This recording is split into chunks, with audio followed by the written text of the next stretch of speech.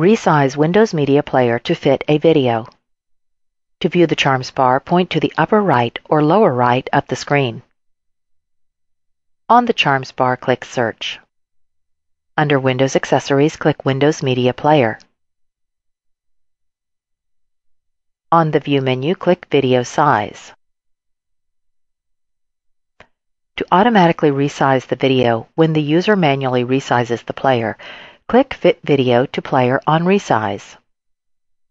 To automatically resize the player to show the video at best size or the percentage specified, click Fit Player to Video.